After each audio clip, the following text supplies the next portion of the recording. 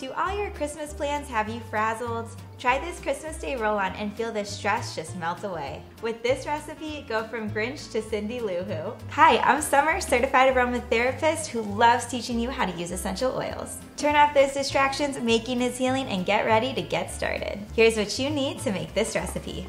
I'm gonna start with opening our monthly recipe box and our big bonus box.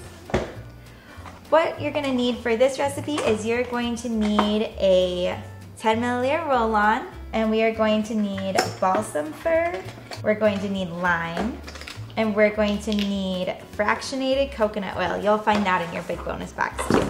Finally, if you would like, I personally love to use funnels just in order to help the, the liquid pour easier.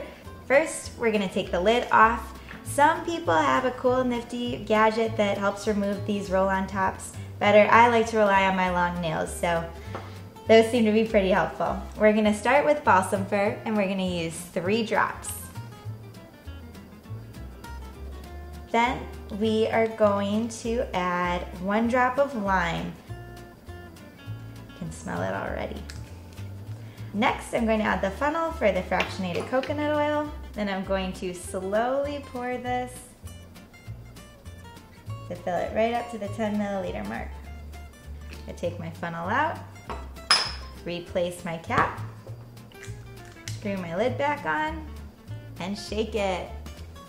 Last thing I'll need for this recipe is to grab my sticker sheet from my recipe box. We can go ahead and put that on our roll-on bottle.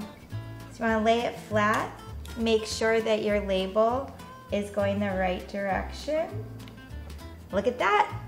The Simply Earth recipe box makes it so easy to make natural recipes. Go make it. I love to see your creations, so make sure to take lots of photos. So tag from Simply Earth with hashtag I made this. Learn to master essential oils with Simply Earth's monthly recipe box. You'll love using essential oils with confidence and clarity.